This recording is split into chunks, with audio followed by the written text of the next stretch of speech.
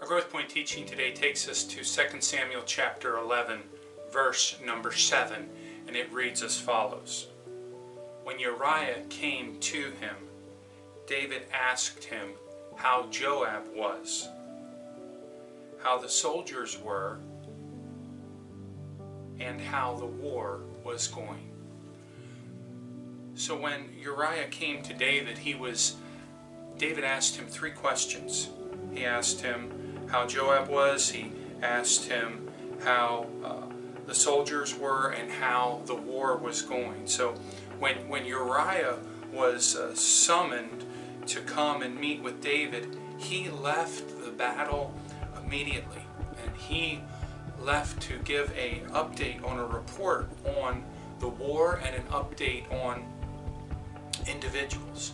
So Uriah rushed in obedience to the request to meet with King David. And this was all part of, of David's plan. This was all part of, of his, his workings to try and uh, absolve himself from the sin that he had committed.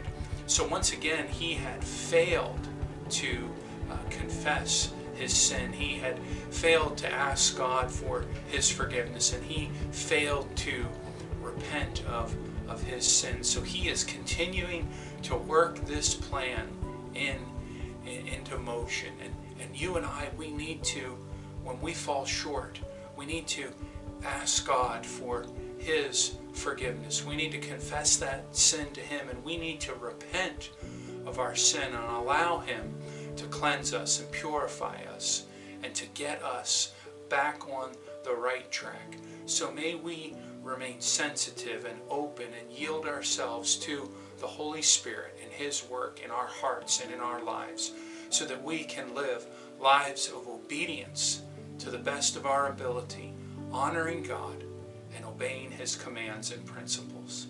Let's pray. God, we thank you for your word. We thank you for the truth in your word. We ask God that you would uh, continue to reveal that truth in our hearts and in our lives. And when we need to make changes in our lives, may we do so for your honor and your glory. pray this prayer blessing over you. May the Lord bless you and protect you. May the Lord smile on you and be gracious to you. May the Lord show you his favor and give you his peace. Because of you, Jesus, and the hope of heaven, we believe and we know the best is yet to come.